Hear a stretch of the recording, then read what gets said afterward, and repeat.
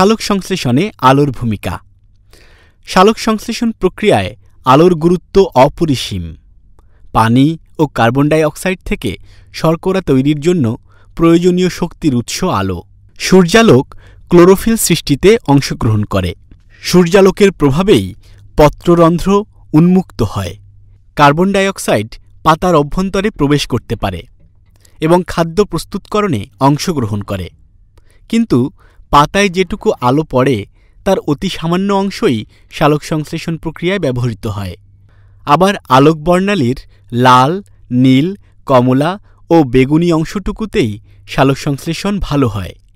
সবুজ ও হলুদ আলোতে সালোক সংশ্লেষণ ভালো হয় না। একটি নির্দিষ্ট সীমা পর্যন্ত আলোর পরিমাণ বাড়লে সালোক সংশ্লেষণের হারও বেড়ে যায়।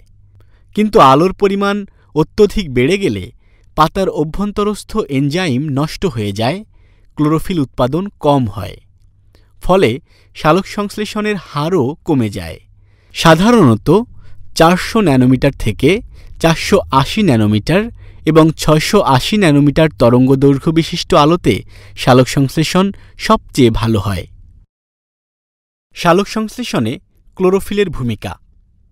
পাতার ক্লোরোফিলের পরিমাণের সাথে সালোক সংশ্লেষণের হারের সরাসরি সম্পর্ক বিদ্যমান, কারণ একমাত্র ক্লোরোফিলই আলোক শক্তি গ্রহণ করতে সক্ষম।